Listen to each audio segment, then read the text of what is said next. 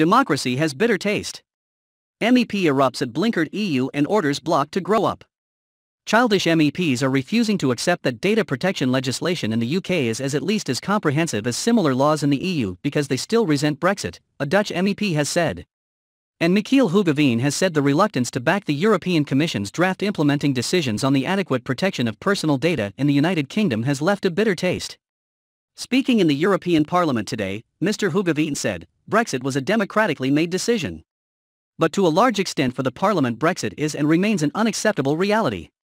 He explained, Today we are talking about the approval of the passing on of data protection being made possible and authorized between Europe and the UK. The UK had very high standards in the field of data protection, sometimes even more stringent than in the EU, Mr. Hoogeveen stressed. But to a large extent for the Parliament Brexit is and remains an unacceptable reality. He explained, Today we are talking about the approval of the passing on of data protection being made possible and authorized between Europe and the UK. The UK had very high standards in the field of data protection, sometimes even more stringent than in the EU, Mr. Hoogeveen stressed. Democracy has a bitter taste to it. A professional and a grown up approach to protecting people, that is what a true Democrat would be concerned with, and in this parliament, of course, we need to live up to that. Speaking to Express subsequently, Mr. Hoogeveen said it was very important for business that the European Parliament voted in favor of the Commission's adequacy decisions. He added, the UK has adopted the GDPR in its own legislation. This means that British legislation is maximally the same as European legislation, but more is not formally possible. The level of data protection in the UK is with that again equal to the level it had when it not yet was part of the EU. Explaining why it was crucial to resolve the situation, Mr. Hoogeveen said, adequacy decision making is urgent as the EU UK Trade and Cooperation Agreement expires at the end of June.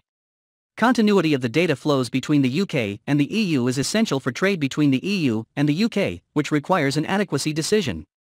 Speaking ahead of a final vote at the end of this week's latest plenary session, he said, In view of the great importance of the vote and given the arguments given, we need to vote in favor of recognizing the adequacy tomorrow. Secretary of State for Digital Oliver Dowden said, I welcome the publication of these draft decisions which rightly reflect the UK's commitment to high data protection standards and pave the way for their formal approval.